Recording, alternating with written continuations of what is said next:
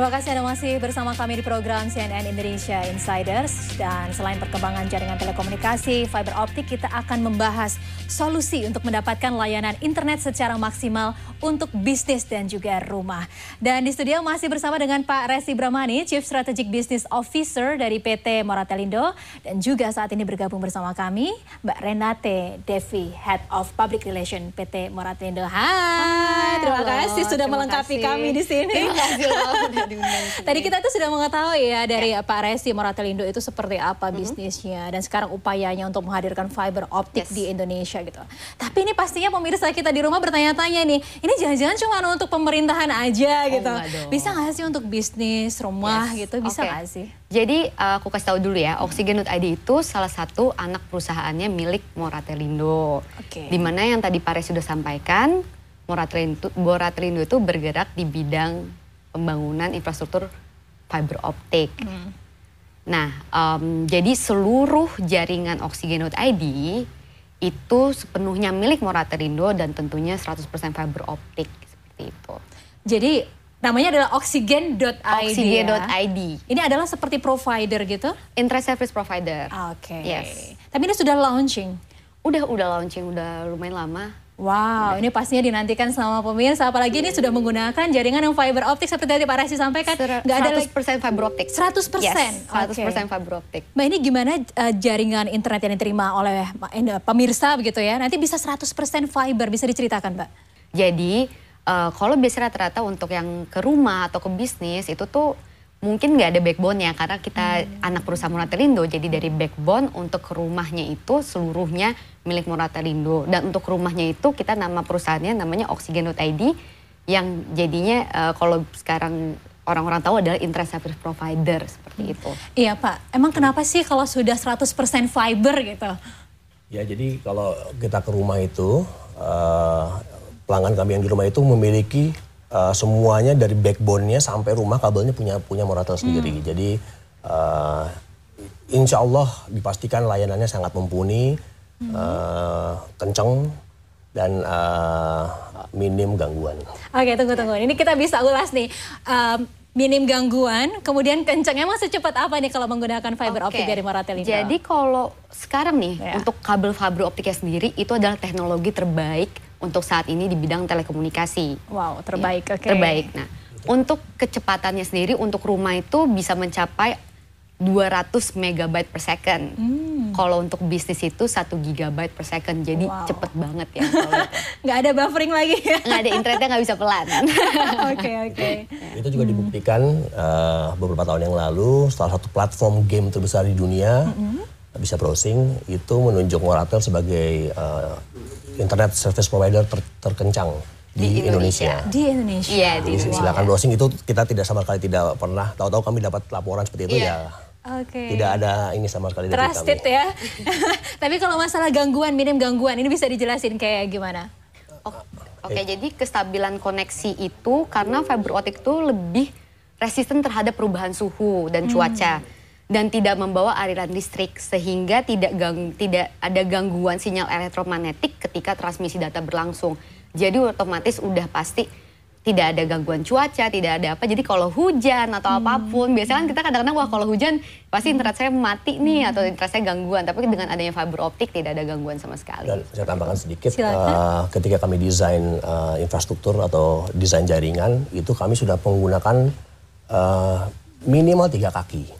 Apa itu? Tiga, kaki, jadi misalnya kaki yang pertama putus, kami okay. ada kaki kedua, hmm. ada kaki ketiga. Kami pinginnya semuanya semua empat kaki. Cuman sampai saat ini rata-rata di uh, kita boleh punya backup di tiga kaki jaringan uh, uh, cadangan ya untuk untuk untuk supaya tadi apa minim gangguan tadi itu. Hmm, Oke, okay. ini pastinya pemirsa kita udah langsung nih searching searching gitu ya oksigen.id kita yang cari yeah. internet provider. Eh ini uh, untuk layanannya sudah tersedia di mana ya? Oke, jadi layanan itu sudah ada pasti di Jabodetabek hmm. paling besar, ada di Bandung juga, Bali, Medan, Pangkal Pinang, Jambi, Pontianak dan Labuan Bajo. Okay. Jadi kalau liburan ke Labuan Bajo nih kayak hmm. nggak hmm. usah takut kalau nggak bisa work from Labuan Bajo karena pasti internetnya udah oke. Okay. Oke. Okay. Nah, ini kira-kira mau dikembangkan ke mana lagi nih Pak untuk uh, jaringan fiber optik yang to home gitu? Uh, tentunya kami akan uh, menggelar di seluruh kota besar di Indonesia ya. Hmm. Uh, dengan tadi tambahan dana tadi itu, semoga kami bisa menggelar lebih banyak lagi di beberapa kota. Dana dan permudah ke kemudahan perizinan begitu ya.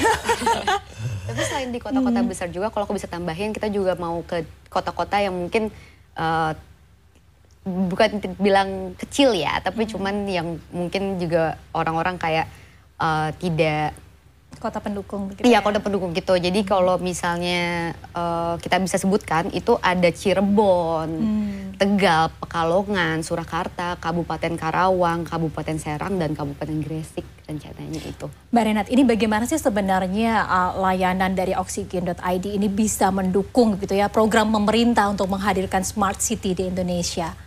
Oh ya, karena sebenarnya kan uh, kenapa kita akhirnya memperluas jaringan kita itu itu karena memang kita ingin mendukung dan turut berpartisipasi dalam smart city karena ketika kita sudah memberikan 100% fiber optik itu kemungkinan untuk 5G itu sangat tinggi. Hmm. Jadi ke, dan jadi kalau sudah ada 5G tentunya akan berarti fundamental untuk jadi smart city-nya itu sendiri. Jadi kalau misalnya dengan orang-orang sudah memakai oksigen.id di dalam rumahnya itu mudah-mudahan gitu jadi smart community, smart people juga kayak gitu. Hmm. Tapi yang biasanya ya Pak ya kalau misalkan kita menggunakan layanan uh, internet provider itu yang salah satu kendalanya juga pasti masalah harga tuh. Okay. Komparasi gitu ya.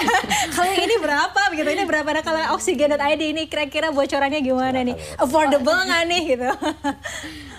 Pas uh, tentunya karena kita tuh menggunakan hmm. jaringan kita sendiri ya. Hmm. Jadi kita nggak ada nyewa-nyewa, nggak okay. ada apa-apa kan biasanya kalau nyewa kan lebih mahal karena ya, kita benar. punya pemilik pribadi, tentunya harganya sangat bersaing. Jadi wow. boleh langsung dibuka ke websitenya, yeah. pasti langsung kayak tercengang dengan harganya ya.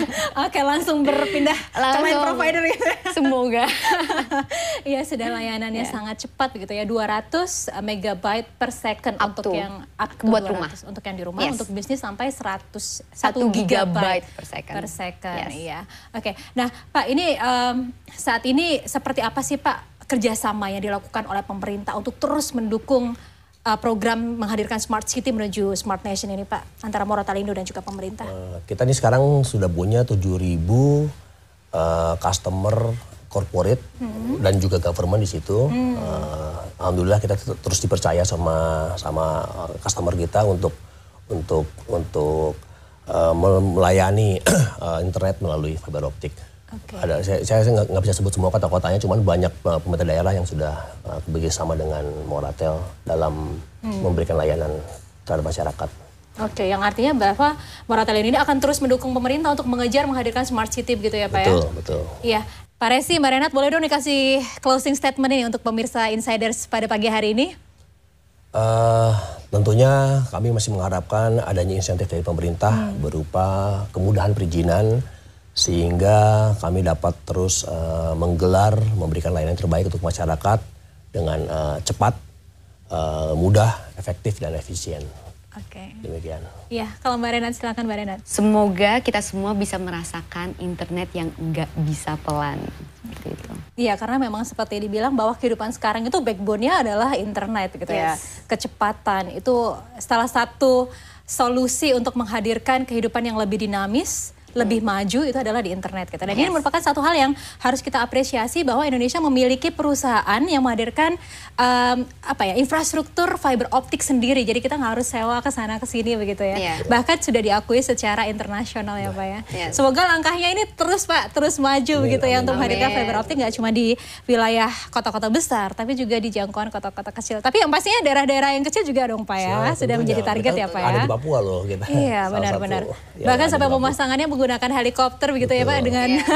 berapa tadi di, di atas aja kita 4000 kaki. 4000 kaki. 4000 kaki. Ya. Itu sudah terbukti bahwa sampai Papua bisa artinya seluruh wilayah Indonesia juga pasti akan bisa yes. dilayani dengan penggunaan yes. fiber optik. Kalau di Papua bisa, mudah-mudahan di kota-kota yang lainnya pasti jauh lebih mudah lah. Iya, dan yang pastinya untuk pemirsa yang saat ini pengen cari internet yang cepat gitu ya, yeah. yang bebas hambatan, bebas gangguan dengan harganya affordable gitu, mungkin bisa langsung di search di mana Mbak? oksigen.id.